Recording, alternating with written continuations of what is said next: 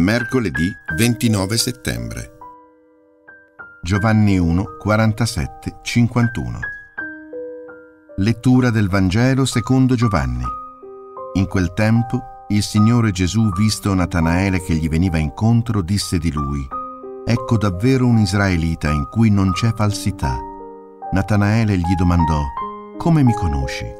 Gli rispose Gesù, Prima che Filippo ti chiamasse, io ti ho visto quando eri sotto l'albero di fichi. Gli replicò Natanaele, Rabbi, tu sei il figlio di Dio, tu sei il re di Israele. Gli rispose Gesù, perché ti ho detto che ti avevo visto sotto l'albero di fichi, tu credi. Vedrai cose più grandi di queste.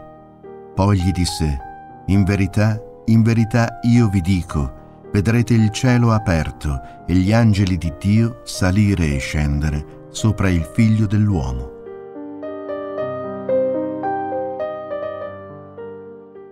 Nel libro della Genesi si narra che a un certo punto Giacobbe si ritira in un luogo deserto e lì, di notte, fa un sogno.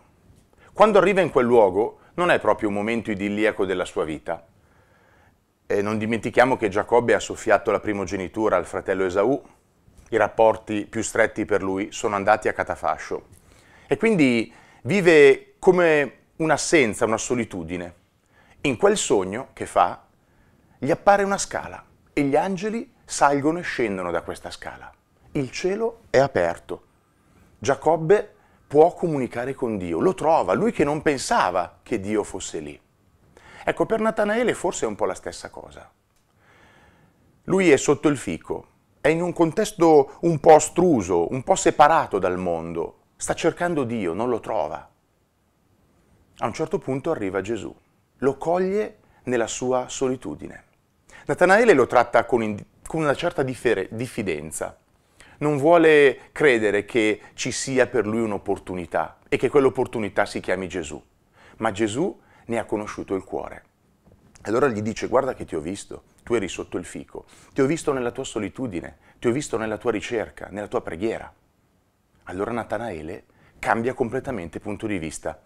È come se facesse una piccola professione di fede, ma Gesù lo invita a guardare ancora oltre e gli dice, in verità ti dico, vedrete gli angeli che salgono e scendono sul figlio dell'uomo.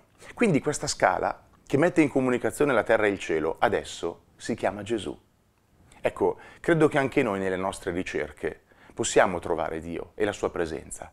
E da dove passa la presenza di Dio? Passa da Gesù. Se noi incontriamo Lui ogni giorno e ci fidiamo della Sua parola, incontriamo anche Dio e siamo messi in comunione con gli altri e col senso della nostra vita. Buona ricerca!